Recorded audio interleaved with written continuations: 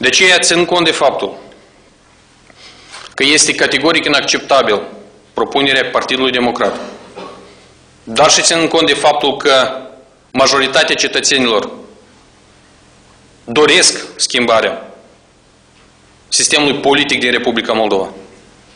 Am decis să vin cu propunerea de crearea unui sistem mixt electoral în Republica Moldova.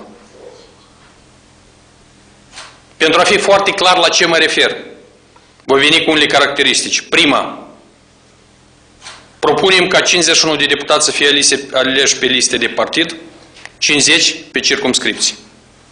2. Cel puțin jumate din circumscripții, 25%,